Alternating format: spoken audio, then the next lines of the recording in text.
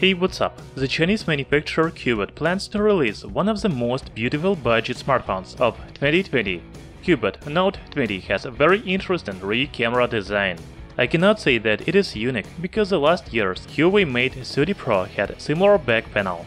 However, the new Cubot Note 20 looks very nice with its circle-around rear quad camera. Also, the new smartphone has quite good specifications. Let's talk about them.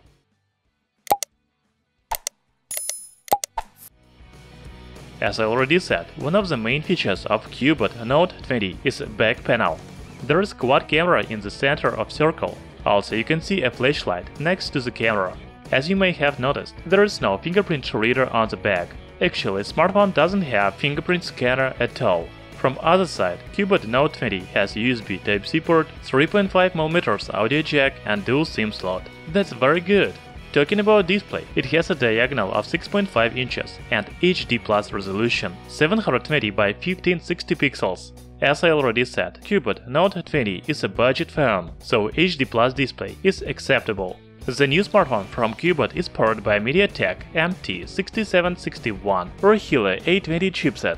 This is a new processor from 2020. Actually, there are no mobile devices on this chipset yet, it looks like Cubot Note 20 will be the first smartphone on Helio A20.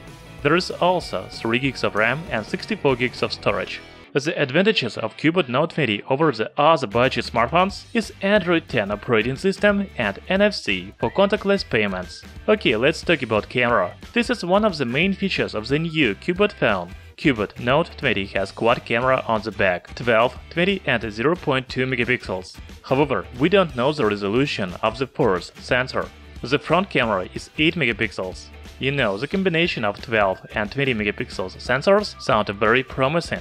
Despite the budget price of smartphone, I think it will take really good photos. Also, Cubot Note 20 has 4200 mAh battery. Because of HD display and energy-efficient processor, I think the battery life will be good. I hope that smartphone will support fast charging. Finally, I want to tell you about price and release date. Cubot Note 20 will go on sale on May 11th. The pitch with smartphone is already available on AliExpress, but the price is too high – $159. I believe that smartphone will cost under $120. What do you think about Cubot Note 20? Do you like its design and specifications? Write in the comments below. Thank you for watching, hit the like button and subscribe to our channel Tech Brothers.